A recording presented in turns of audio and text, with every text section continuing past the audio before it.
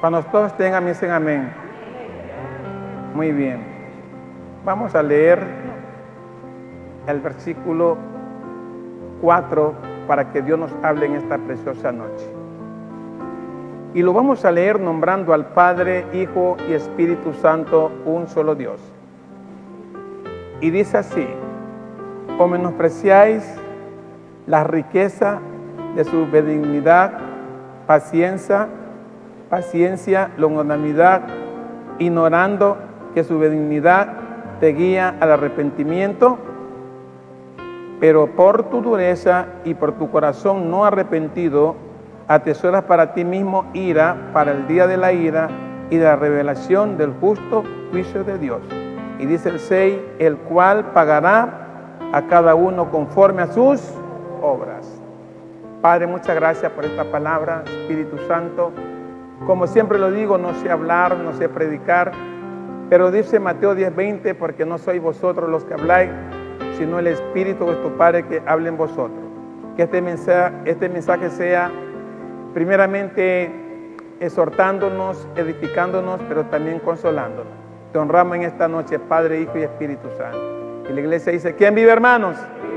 Y a su nombre puede sentarse, mi hermano.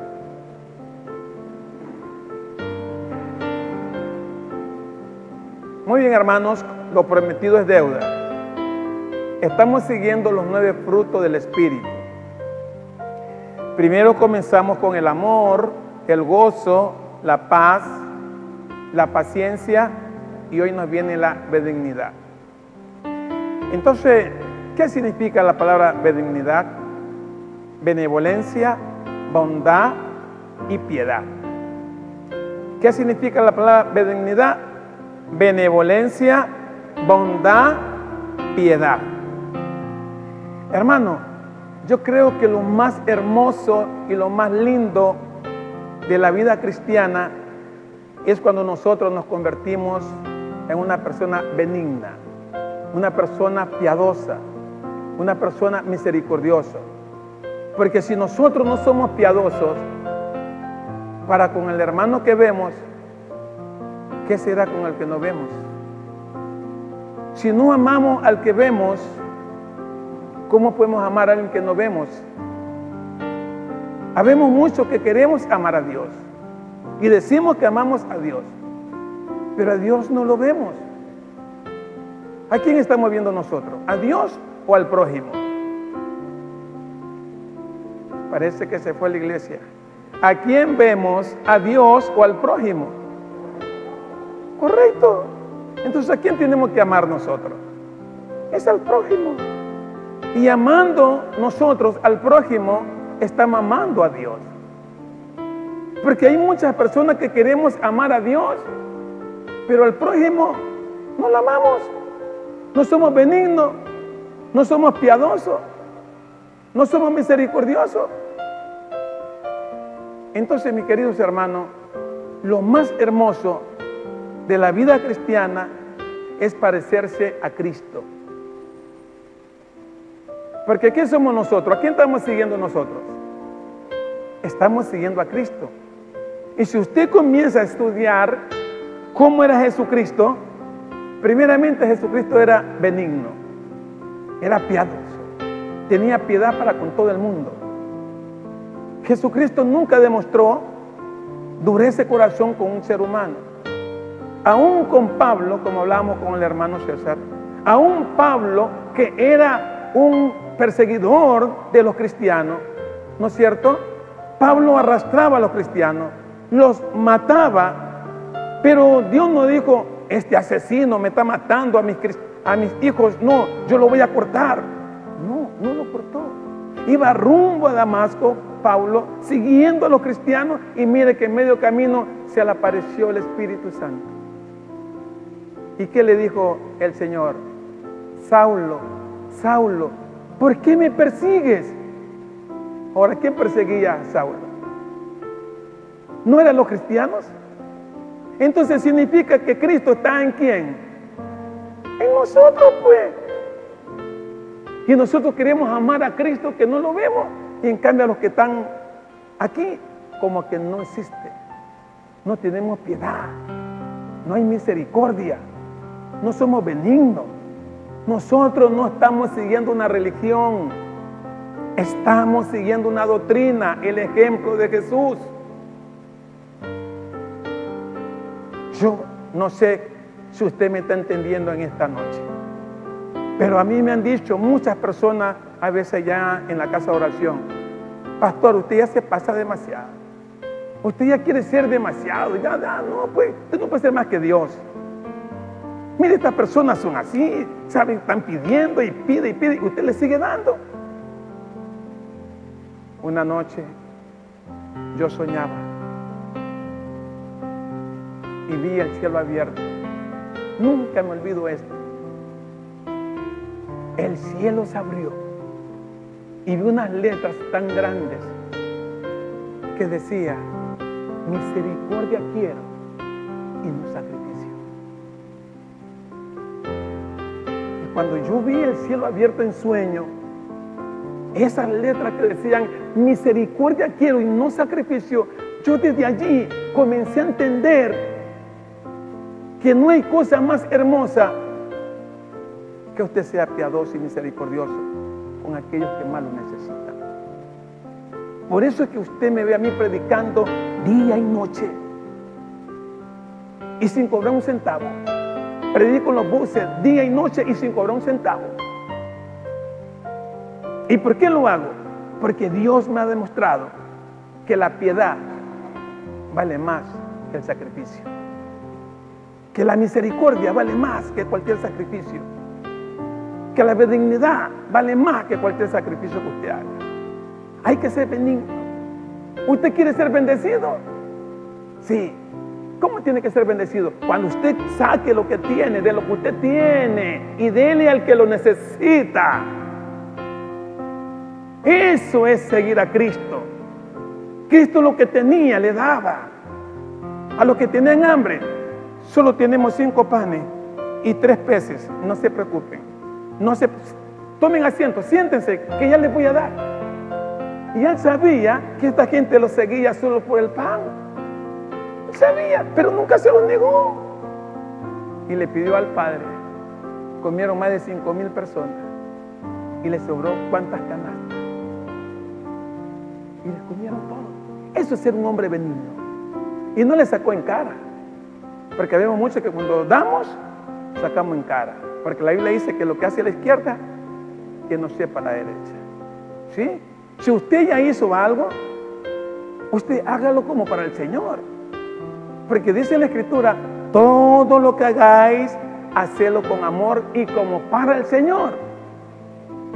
Pero muchas personas hacemos las cosas sacándole en cara. No, yo hice esto, estoy acá. ¿Para qué saca en cara usted si usted lo está haciendo para el Señor?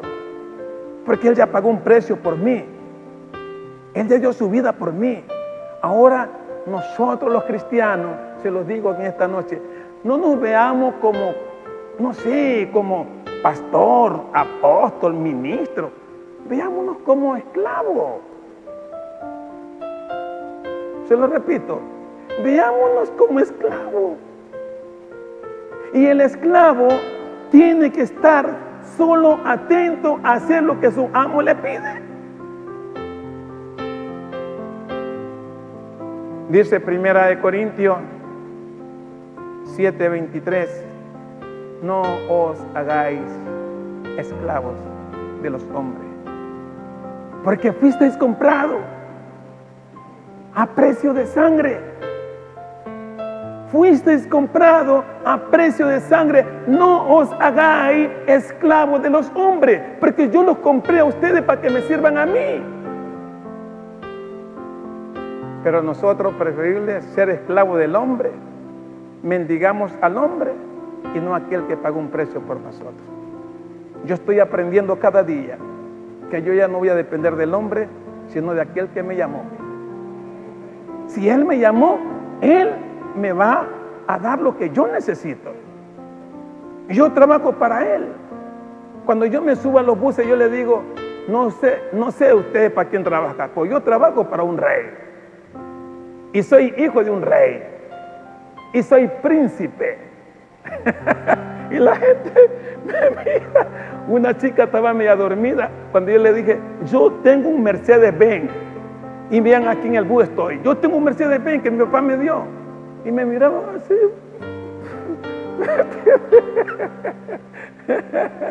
Oiga, hay que impresionar a las personas. ¿Sí? Porque si usted va ahí con cara de macheta a predicarle, nadie le para bola. Hay que impresionarlo. Y cuando ya me voy saliendo, le digo, mi Mercedes Benz se llama bicicleta. Me miran así, qué cosa este negro, ¿no? Entonces, mi hermano, lo lindo es cuando usted trabaja con amor para el Señor. Yo no me importa la hora que sea predicar donde sea y lo hago con amor. Porque Dios me ha llamado a mí es a ser benigno, que sea bondadoso, que sea piadoso, que sea misericordioso. Oiga, estoy predicando últimamente solamente para los apartados. ¿Y cómo los impresiono a ellos? Cuando les digo, señores, les traigo una buena noticia. ¿Cuál es esa? No se hagan cristianos. ¿Qué? Me miran así, toda la gente saca la cabeza. No se hagan cristianos. ¿Y saben por qué le digo que no se hagan cristianos? Porque en este bus hay 40 personas y la mitad fueron cristianos y ya no lo son. Entonces por eso les digo, no se hagan cristianos, porque el mundo está lleno de rendido, lleno de anticristo. ¿Por qué cree que se ha aumentado la maldad en estos últimos tiempos? Porque el cristiano apartado, ¿cuántos demonios les vienen? Y dicen los católicos, siete. Y uno que tenía ocho. Y el que no es cristiano tiene uno solo. Porque más atención pone la palabra, escuchar la palabra de Dios. Uno que tiene un solo demonio, que son los católicos, y el cristiano apartado.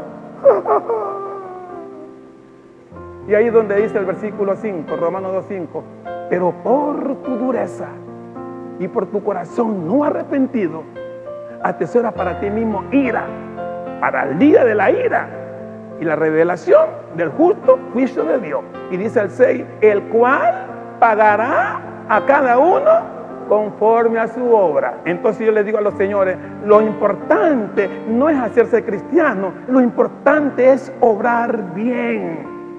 Porque el que obra bien, bien le va, me dice.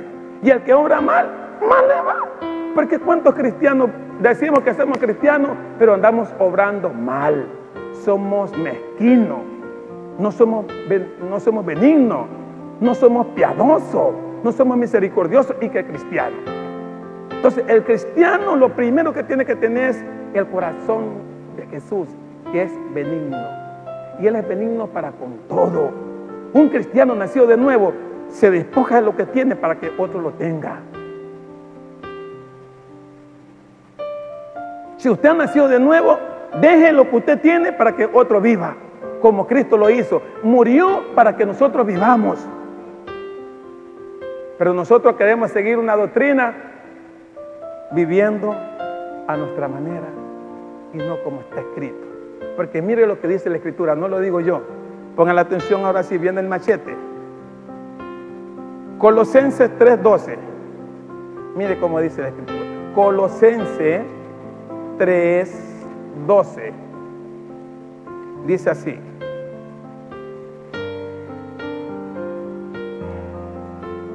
¿Por qué no leemos también el 11 para que usted lo entienda mejor? Mire lo que dice el 11, el 11, perdón. Donde no hay griego, ni judío, circuncisión, ni incircuncisión, bárbaro, ni escita, siervo, ni libre, sino que Cristo es el todo y en todos. Ahora pongan la atención al 12. Vestidos, pues, como escogidos de Dios, santos y amados de extrañable misericordia, de benignidad, humildad, mansedumbre y de paciencia. Oiga, eso es lo que tenemos que estar vestidos, de benignidad, de paciencia, de amor, de misericordia. Vestido de eso, dice el Señor. Si no nos vestimos de lo que está escrito aquí, entonces no estamos vestidos de Cristo. Porque Cristo es en todo. Y para Él es la gloria y la honra. Nosotros tenemos que estar revestidos es de su benignidad, de su bondad, de su misericordia, de su amor, de su paciencia. De eso tenemos que estar vestidos nosotros. Pero a veces somos cristianos, hermanos, que solamente estamos, con todo respeto que se merece la iglesia, estamos mucho, no digo están, estamos viviendo un evangelio de apariencia. Un evangelio a nuestra manera. Y el evangelio es de irse al fondo. La vida cristiana no es como yo quiero vivirla, es como está escrita. Vivir lo que está escrito, vivirlo. ¿Cuántas personas predicamos pero no lo vivimos? Entonces yo estoy hablando de la benignidad, porque yo no era cristiano y hasta el día de hoy nadie me puede señalar. Yo cada día comparto, vamos a suponer en mi closet, me vienen personas, pastor, ¿no tiene pues una, una leva? A veces me, pastor, me gusta esa leva, ¿la quiere? Tómela. Y después no sé cómo, cuando veo nuevamente mi closet lleno de leva. Lleve esas camisas, hermano, llévela, tómela. Pero no vaya a, poner, no vaya a esperar usted que la, su camisa le caiga polilla. Para que después decir, como ella ya tiene polilla, ya no la usa, entonces llévatela. Así no funciona. Usted mire a cada ser humano como que si fuera Cristo en él. Porque si Cristo bajara del cielo y yo me diera cuenta que es Jesucristo, no le voy a dar algo podrido a Jesús. Si Jesús Miranda, que se hacía pasar por un Cristo resucitado, ¿qué le daban a Jesús Miranda? Los carros más caros le daban. Millones. Los carros más caros del mundo. Y eso era un falso profeta. Porque dijo, vendrán muchos Cristos. Y Jesús Miranda tenía gente que le daban miles de dólares, oiga. Porque decía que era el Cristo encarnado. Y nosotros que tenemos la doctrina real, que sabemos que Cristo está en cada uno de nosotros, somos tan duros. Se fue la iglesia. Parece que hay un silencio, como que está llegando la palabra. Y la palabra tiene que llegar, porque tiene que llegar. Porque si no te llega la palabra, ¿cómo puedes mañana decir gracias Señor? Yo necesitaba esa palabra. Oiga, si usted tiene un pastor que le predica suavecito, tiene que decirle, preocúpese por eso. O, o, o, como cristiano, si no tiene prueba, preocúpese por eso. Porque el cristiano verdadero tiene que tener prueba, tiene que ser probado. Porque si no somos probados, entonces hermano, ¿cómo podemos mañana testificar la maravilla de Dios?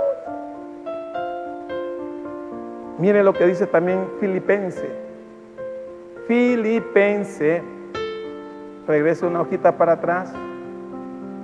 Ahí está.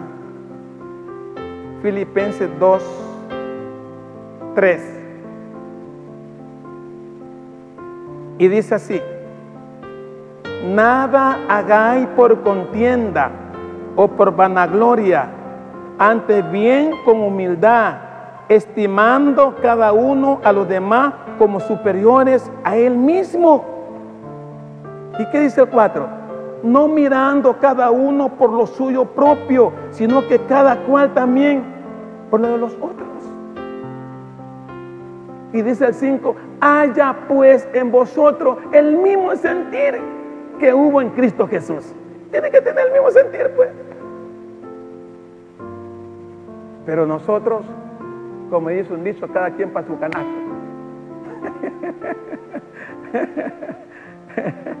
y así no podemos agradar a Dios. no, cada quien, ay, Y Dios dice, ay, si supieras por eso yo siempre me quedo con un solo versículo. Hasta aquí tengo un versículo que me identifico y yo lo predico y lo seguiré predicando. Segunda de Corintios 5:10 dice claramente, porque es necesario que cada uno de nosotros comparezcamos ante el tribunal de Cristo para que cada uno reciba según lo que haya hecho mientras estaba en el cuerpo, sea bueno o sea malo. Eso es todo. No nos metamos a política ni a cosas por el estilo. Viva la palabra y vivámosla. Que el día que esté, oiga, de morir, todos vamos a morir. Tarde o que temprano. Negro, cholo, indio, blanco, mulato. La muerte es para todos. Pero cada uno le va a dar cuenta a Dios según la obra que haya hecho. Y Él pagará, no es conforme a la religión, Él pagará es conforme a la obra. Y el que ha obrado bien, bien le va. Y el que obra mal, porque la ley de Dios es semejante a la ley terrenal. La ley terrenal a mí no me puede llevar preso si yo no he cometido ningún delito. La ley me ve. Mira, aquí, hasta aquí, desde que comenzó la pandemia, a mí un policía me ve como que no me ve. ¿No será porque soy negrito? Pero me ven, ¿cómo que no me ven? Porque yo donde voy, me identifico, voy con mi espada. No, eso es un varón de Dios. Ese es un siervo de Dios. Y los policías me mandan eso, varón, ore por mí. Siervo, ore por mí. Si el mismo alcalde del cantón Yaguachi me pidió que ore por él. Entonces, mis queridos hermanos, hay que ser misericordioso. Pero mire cómo dice, nada hagáis por vanagloria, ni por contienda, más bien con humildad, estimando cada uno a los demás como superiores al mismo. Cuando usted mira a otro como superior, usted se mira como superior, ya usted no está siendo agradable ante los ojos de Dios. Porque yo tengo que verme como inferior si lo veo a Cristo a través de usted. No que Cristo es mayor que yo. Cristo está en usted, está en usted, en ella, en ella, en él. Entonces, si yo lo veo a Cristo a través de usted, yo tengo que verme como inferior y no como superior. Pero a veces nosotros no. Miramos por encima del hombro. ¿Quién es este? Y así no funciona. La vida cristiana es de verse como inferior. Si Cristo, que era el Cristo, el Hijo de Dios, se vio como inferior ante sus superiores, ante su discípulo, perdón, ¿cómo nosotros ahora, que somos pecadores, él siendo el santo de Israel, se hizo esclavo, lavándole los pies a sus discípulos, se hizo siervo. Y nosotros ahora, no. Por favor, nunca se vea como superior ante nadie, porque usted no va un día a ver su rostro. Cuando usted comienza a verse como inferior, se hace humilde, se hace bondadoso, benigno, se hace misericordioso, usted va a ver cómo va a estar con Dios gozándose un día en la presencia de Dios. Se va a gozar, porque Dios dice, este tiene el mismo sentir mío. Esta mujer tiene el mismo sentir mío. Tenemos que tener el mismo sentir de Cristo. Si usted no tiene el sentir de Cristo, entonces usted nunca ha conocido, usted está conociendo una religión, pero no a Cristo, pues. Porque el que conoce a Cristo tiene que verse como un hombre humilde. Cuando yo no era cristiano, yo dije un día, yo negro, este negrito vende bollo, ¿qué le pasa pues? Yo vende bollo, ¿qué le pasa? Peor cocada. yo decía, todo negro no es bollero. No, no, no, no.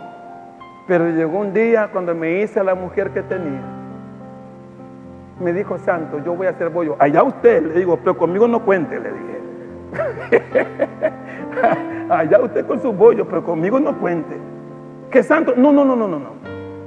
Y llegó un día, me dijo, Santo, por favor, tú ya eres cristiano, deja tu orgullo. ¿Y sabe lo que pasó? Me tocó ir a ofrecer casa por casa. No quiere bollo para, para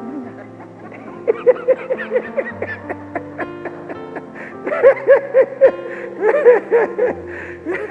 y llegué y después ofrecía hasta 80. Y me decía, ahora sí te estoy viendo. Pero la cosa es que lo vendí. Y no se me quitó nada. Sigo siendo el mismo.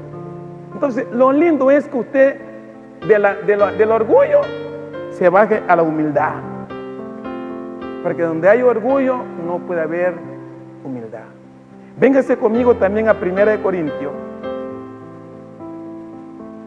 Primera de Corintios capítulo 13.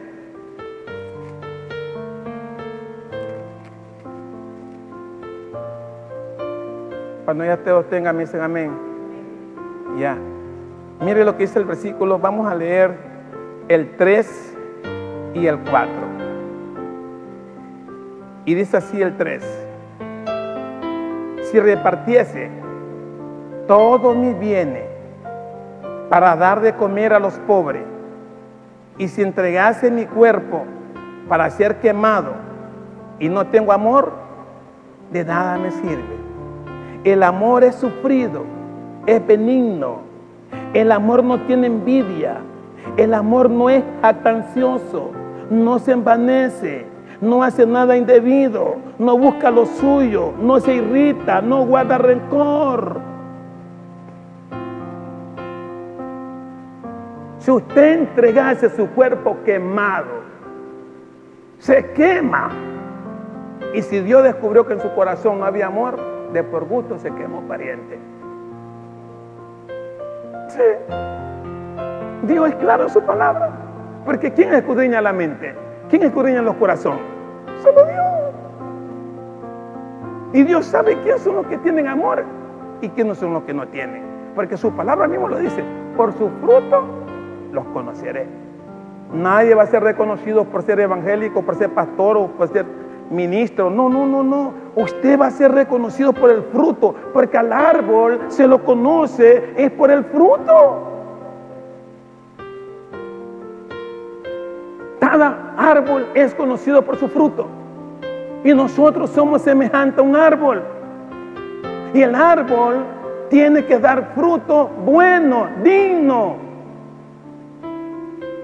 El árbol siempre está dando para que otro disfrute. Y así es el que es benigno. El que es amoroso siempre está dando para que otro disfrute. Porque mientras usted mata, la fuente más le llega. Mata, más le llega. Eso es todo. Pero el que, que lo retiene, nos vamos a parecer como el pueblo de Israel cuando el Señor le dijo, coman maná todos los días, que yo les voy a dar todos los días. No guarden para mañana, porque si guardan para mañana, no me hago responsable de lo que guardan. Solamente coman, confíen en mí, que yo les voy a dar todos los días. Pero unos dijeron, no, hay que guardar mejor. y guardaron. Y cuando fueron a ver estaba podrido, con gusano. Entonces no guarde, hermano, disfrute. Cada día como que si fuera el último día. El doctor un día lo predicó cuando murió su hermana. Allá en el campo, no fue, ¿dónde fue doctor? Allá, sí, el doctor lo escuché y se me grabó. Y él dijo estas palabras. Cuando alguien muere, nadie le trae un camión lleno de todo lo que tiene para enterrárselo con todo. ¿Lo dijo o no lo dijo usted, doctor? Cuando usted se muere no lleva nada. Y si tienes un anillo, hasta el anillo te lo sacan.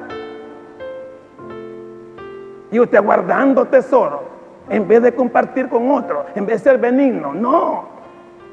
Hay gente que tiene carro y hasta el carro lo hostiga porque quiere uno mejor. Y hay otros que desean tenerlo. Hay gente que desea un plato de comida. En cambio hay otros que se les hace fea la comida y ahí queda. Así está el mundo. No, no, no, no me gusta esa comida. Deja, como tiene plata, anda a verme otro. Y ese bótalo a la basura. Donde hay gente que está pidiendo cómo comerse, hasta la basura. Y nosotros somos cristianos a nuestra manera. Así somos los cristianos. Venimos, caramba. Y nos miramos a los que están en el mundo, a los sucios, a los que están ahí, hijos del diablo.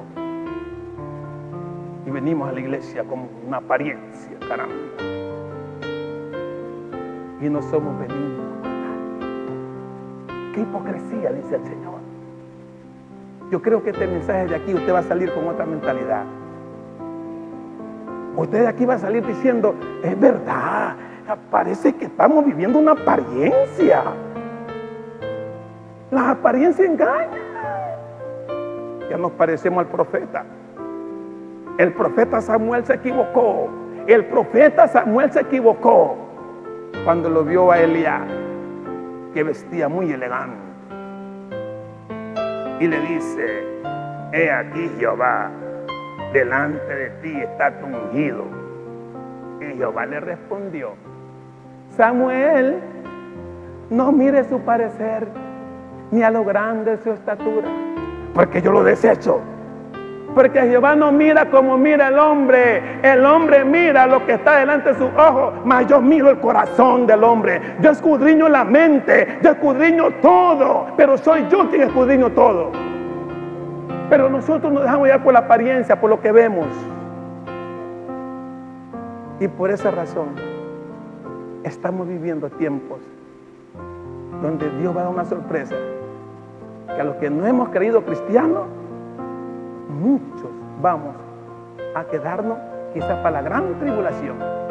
Y los que no han sido cristianos, más bien Dios los va a llevar. ¿Y por qué lo llevaron a ellos? Porque tú no fuiste misericordioso. tu corazón era malo, perverso. Pensaste en sí mismo y no en ellos. Ahora quédate para la gran tribulación. Y ahí va a ser donde dice que los valientes van a arrebatar de los cielos. Y muchos salieron de la gran tribulación. Muchos. Multitudes salieron de la gran tribulación. Porque la mayoría de los cristianos estamos muy equivocados.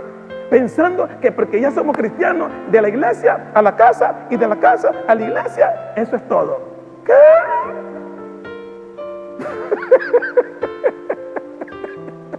No, no, no, no. Aquí se trata de ser obrero. Hay que trabajar para ganar salario, para ganar la salvación. Tenemos que trabajar como obrero, como las hormigas, como las hormigas que no tienen capitán y ellas trabajan.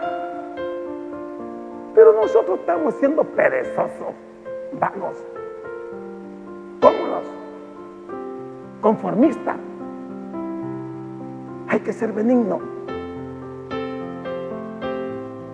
Hay que ser benigno, misericordioso, piadoso. Si, reparte tu cuerpo quemado, así te sepa toda la Biblia. Y si no tienes amor, de nada te sirve. Y dice que el amor es benigno, no es jactancioso, no se irrita, no busca lo suyo propio, busca el bien de otro. Ese es el amor. Y Dios es amor. ¿Quién es Dios? Amor. Pero muchos decimos, pero también es fuego consumidor. Oiga, Dios Dios es amor y Él es piadoso. Si no fuera benigno, ¿quién estuviera vivo en nosotros? Si en el mundo hicimos tantas cosas. Y termino con el último versículo, para que entremos en una oración, porque vamos a salir de aquí con otra mentalidad. Segunda de Corintios 6, 5 y 6.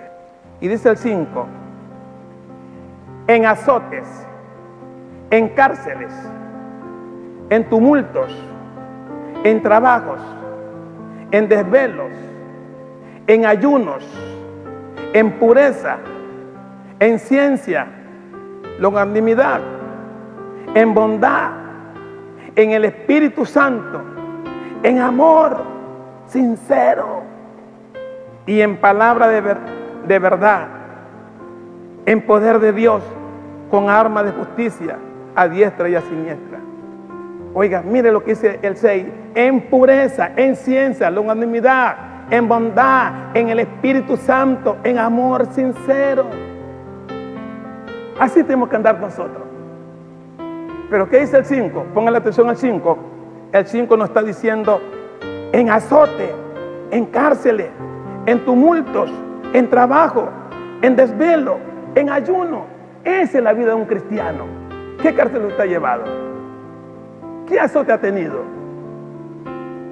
Y ayunamos. Solo estamos. Y no hay ayuno. ¿Cómo podemos hacer morir esta carne que es nuestro enemigo? La carne muere ayunando, orando, humillado. Hoy la iglesia no quiere ni orar, no quiere ni ayunar, no quiere predicar, no quiere... No, no, no, no. Ya le digo, la hamaca, para allá, para acá, y para acá, y para allá. De la iglesia a la casa, nada más. Eso es todo. Y escuchamos el sermón, ya predica el pastor, viene otro predicador, y viene otro, y te dice lo mismo, y usted está ahí mismo. Ya con este mensaje, si aquí no salimos a trabajar, entonces hay que pasar un, no sé, pues, ¿qué, qué pasa por aquí? Necesitamos es oír y luego obedecer la palabra de Dios. No podemos oír y no obedecer.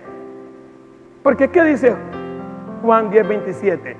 Mis ovejas oyen mi voz. Yo las conozco y me siguen. Ellas me obedecen. Ellas hacen mi voluntad. Mis ovejas oyen mi voz.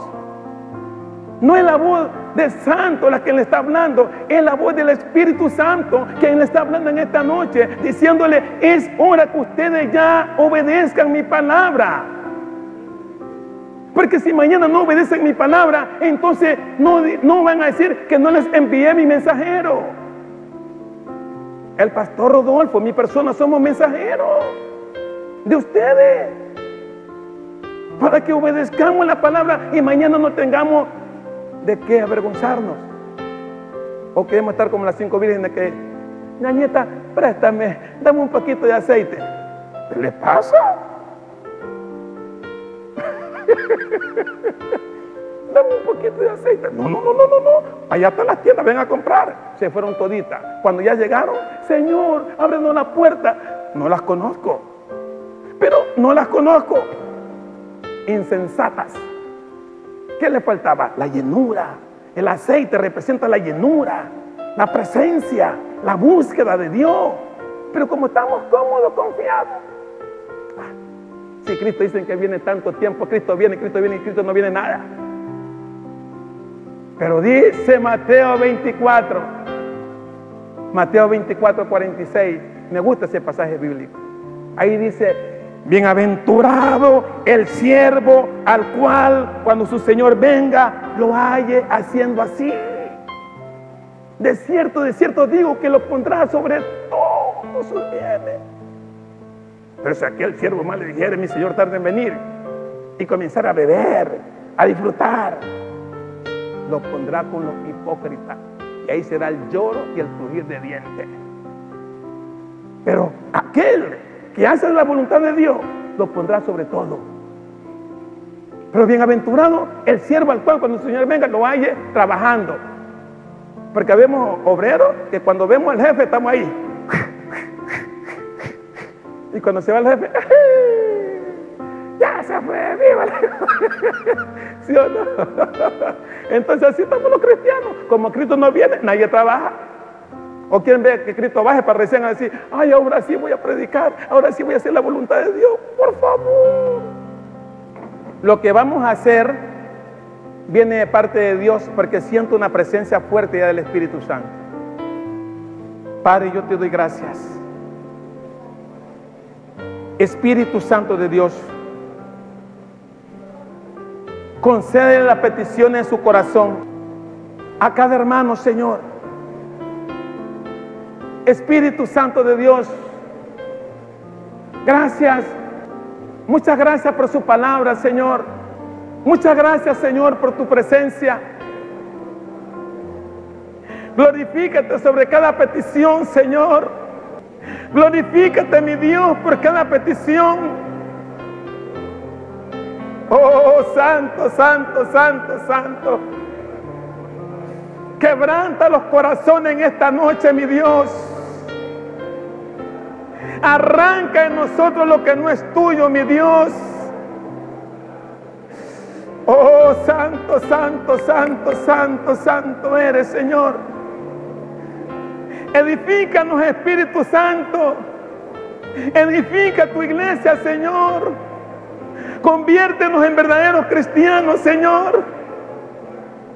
Oh, poderoso Jesús. Hay poder en la sangre de Cristo. Hay poder en la sangre de Cristo. Hay poder. Hay poder. Hay poder en la sangre de Cristo. La sangre de Cristo tiene poder. Ay Señor, quita de nosotros lo que no es tuyo, Señor. Arranca el temor. Arranca el miedo, Señor. Quita de nosotros todo el temor, Señor. Y tráenos, Señor, tu Espíritu Santo. Glorifícate Espíritu Santo. Glorifícate en esta noche, Padre. Necesitamos más y más de tu presencia, Señor. Necesitamos Espíritu Santo de ti, mi Dios. Toca los corazones, Señor. Toca cada corazón, mi Dios.